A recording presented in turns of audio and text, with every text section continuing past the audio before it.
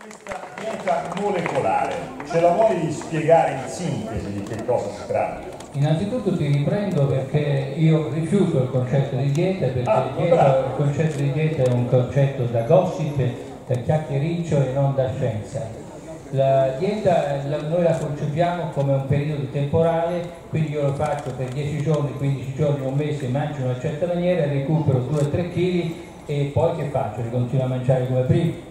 Voltiamo pagina, voltiamo pagina, cominciamo a parlare di alimentazione consapevole. L'alimentazione consapevole è binario questa mano che porta ogni giorno il cibo dal piatto alla bocca. Mangiamo 2 o 3 kg di cibo al giorno. Noi costruiamo ogni giorno il nostro corpo con il cibo, non si mangia certo per dimagrire. Questo è il gossip che io rifiuto in maniera drastica e in maniera netta. Mi scuso con te Fabrizio, però eh, bisogna anche guardare l'orizzonte, eh, un orizzonte scientifico. Se a voi vi chiedessi oggi quanto avete mangiato in una giornata, quanto cibo avete mangiato, quanto cibo mangiate in una giornata, probabilmente nessuno risponderebbe, ma si mangia da 2 a 3 kg di cibo tra cibo solido e cibo liquido. Questo cibo entra dentro il nostro intestino, il nostro intestino non è sempre preparato ad accogliere il cibo che prendiamo, è un organo molto affaticato. Noi mangiamo in una società basata prevalentemente sulla farina. Pensate quanti alimenti fatti con la farina mangiamo dalla mattina alla sera, i fetti biscottati, i biscotti, la pizza, la pasta, i prodotti da forno, il pane, tutti i dolci. Queste farine sono fatte per il 70% da grani di varietà moderna, cioè grani piccoli, quelli bassi, i grani nani i grani nani. Questi grani nani eh, sono molto ricchi di proteine e in particolare di glutenina e di gliadina che nell'impasto con l'acqua diventano glutine. Se le malattie dell'intestino e i disturbi intestinali aumentano, ci dobbiamo porre il problema perché questo succede. E se continuiamo ancora a parlare di calorie e di calorie, noi siamo fuori strada. Cioè la conoscenza scientifica genera la consapevolezza e la consapevolezza genera la libertà di guidare questa mano. Io posso rifiutare tutte le cose che dice eh, eh, i prodotti che ha detto poc'anzi Giuseppe, però io devo conoscere. E il gossip appartiene ormai a un secolo fa, Beh, il mondo è cambiato, bisogna andare avanti, c'è un grande cambiamento nella scienza dell'alimentazione e basare tutto sul dimagrire un chilo, sulla dietina, come ho sempre eh, sentito, io mi rifiuto come medico e come uomo. Bene, questo mi sembra un bel messaggio, perché la gente poi mangia il pane bianco e poi va in farmacia e compra la crusca, no? E quindi... allora, eh, eh, Pierluigi, eh, l'abbiamo accennato, siamo arrivati all'alimentazione consapevole di tipo molecolare, e però vogliamo che tu ce la spieghi un po' meglio. Quanti anni ha lei, signore? Ecco, quale signora? Lei, lei, lui. Quanti anni ha? 50. Eh, io ho 67 anni. Noi mangiamo il cibo ogni giorno per costruire il nostro corpo. Se io qui ci metto un pezzo di pane, questo pezzo di pane è fatto di carboidrati, di proteine, di vitamine, di acqua, però questo pezzo di pane che sta sopra al tavolo è uguale per me, per lei e per tutti quanti. Poi questa mano che porta il pezzo di pane dal piatto, qui dal tavolo, alla bocca, entra dentro di noi e trova un corpo l'uno diverso dall'altro. Allora, secondo voi è più importante il cibo che sul tavolo è uguale per tutti o il corpo che ognuno ha il suo? Da dove si inizia nel rapporto con il cibo? Dal corpo o dal cibo? Dal corpo. Questo è, esatta- rivoluzionario è esattamente sembra una cosa banale ma è molto È rivoluzionario. l'opposto del gossip che noi sopportiamo, sopportiamo infinitivamente ogni giorno da ogni parte, sia nella stampa sia nella televisione. Ma per mantenere sempre il contatto con lei, tutti quanti noi abbiamo 5 litri di sangue in questo momento qui e questi litri di sangue vengono mandati avanti dal cuore che è una pompa. Questa pompa cuore che ci tiene in vita che batte 60-70 battiti al minuto, 60-70 battiti al minuto per tutta la nostra vita, l'energia il cuore da dove la trova? dà calore come se fosse una caldaia, come se fosse una macchina, come se fosse un locomotore, o questo cuore trae, trae energia da un'energia chimica che si chiama adenosin? Se il nostro cuore, il mio e il vostro cuore, utilizzasse il calore eh, per vivere, il cuore brucierebbe. Siamo nel 2016 e ancora queste cose si crede che il corpo umano viaggia attraverso le calorie. Se noi utilizzassimo il calore bruceremmo tutti.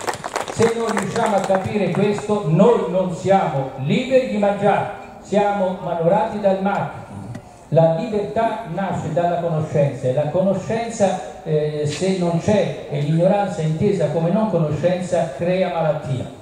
Io sono un medico di 67 anni, ho 42 anni di attività professionale e so sempre più convinto che la salute sta nel piatto quotidiano, che il cibo ogni giorno costruisce il nostro corpo e condiziona la longevità. Sto studiando in questo momento la genomica nutrizionale, cioè come le molecole contenute nei cibi possono agire, agire sul nostro DNA. Siamo nei primi secondi di un mondo post-genomico che durerà secoli e nessuno sa niente. Perché io devo pagare un canone della RAI per sentire ancora esimi colleghi che si spacciano come scienziati 30 calorie, 50 calorie, 100 calorie. Le calorie non esistono nel corpo umano. Esistono le molecole che sono entrate attraverso la respirazione e attraverso il cibo. Anche perché eh, prendere, eh, che ne so, mille calorie da un pezzo di torto, prendere mille calorie da, dal pane oppure da, dalla carne è completamente diverso, insomma, no? Assolutamente, assolutamente. Se eh, per esempio il ferro, noi tutti qui abbiamo 4 grammi di ferro, solo 4 grammi di ferro e se non c'è il ferro si va in anemia, si va in debolezza, si va in asteria. Il ferro, secondo voi, brucia, dà calore, dà energia, brucia, non brucia, non brucia. Noi mangiamo cibo che non può bruciare, siamo macchina idrogeno. La mia sofferenza intima e profonda, cerco in tutte le maniere, anche attraverso Facebook, per aiutare tutte le persone a comprendere quanta, quanta importanza sia l'alimentazione è quello di riuscire a portare le novità scientifiche che sono ormai completamente accettate verso la, la diffusione, la, la, la, partecipazione, la conoscenza. Un altro aspetto che vorrei eh, sottolineare eh, come, come, elemento fortemente eh, innovativo è il cervello noi pensiamo che il cervello si rimanga stabile, si vive anche 100 anni, si potrà vivere anche di più, però bisogna vedere la qualità. Io sto studiando in questo momento, oltre alla genomica nutrizionale, il rapporto tra il cibo e il DNA, sto studiando l'effetto che il cibo ha sul nostro cervello. Noi sappiamo tutto sul colesterolo, sul fegato, sul cuore, ma il cervello è un organo plastico e che se non è nutrito sufficientemente i neuroni cerebrali non riescono a creare la plasticità cerebrale e si va incontro alla demenza. Signori, questo è davanti a noi.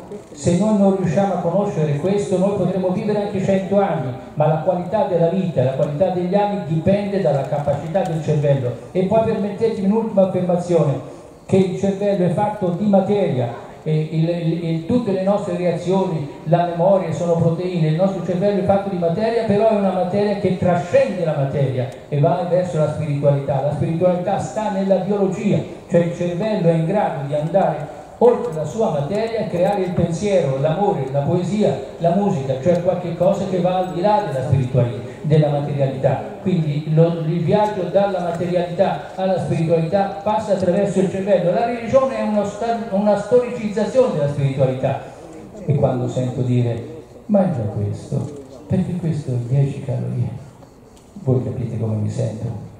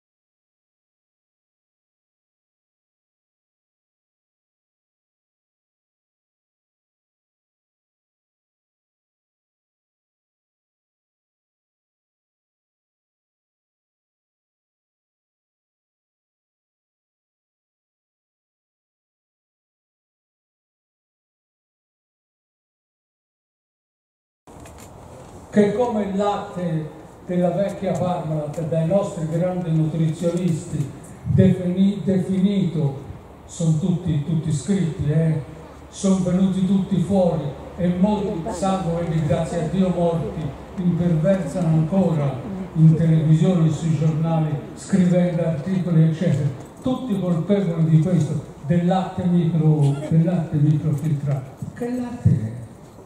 Ma il latte deve avere un animale di razza tradizionale al pascolo spontaneo qualifica che viene munto immediatamente e lì trasformato. Non che parte col camion dalla Germania e viene in Italia. Viene in Italia al nord, va anche in Puglia, fino in Puglia arrivano i camion della...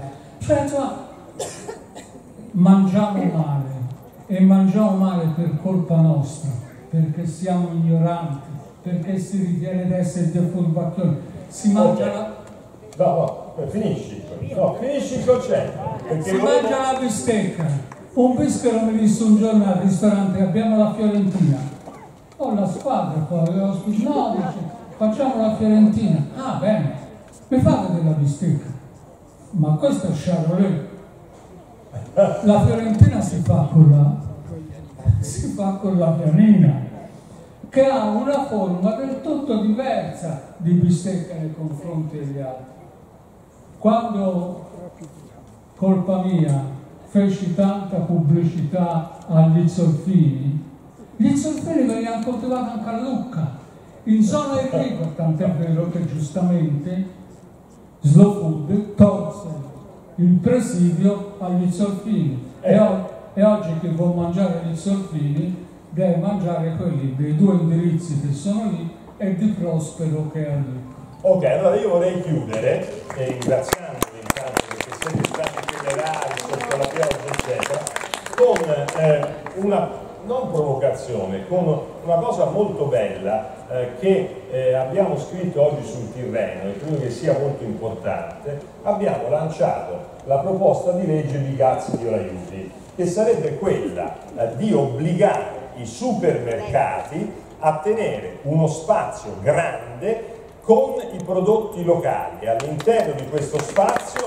avere una persona che spiega i prodotti perché se eh, puoi scegliere puoi scegliere ma in questo caso non si può scegliere perché non si trovano i prodotti ora questo qua e là avviene ma in maniera molto saltuaria sporadica eccetera invece con una legge ben precisa avere un 15% dello spazio della grande disposizione a disposizione dei piccoli e per i medi per i nuovi, per i vecchi un devono 8%. andare lì, mani giunte in Eh. ginocchio Però no- noi speriamo che questa proposta di legge passi. Io ringrazio i miei ospiti, è, successo. Sono arrivati i- le, le antimafia con le scorte, eccetera, poi ha piovuto. Eh, io vi voglio un bene dell'anima, grazie per essere stati con noi, alla prossima. Grazie a tutti.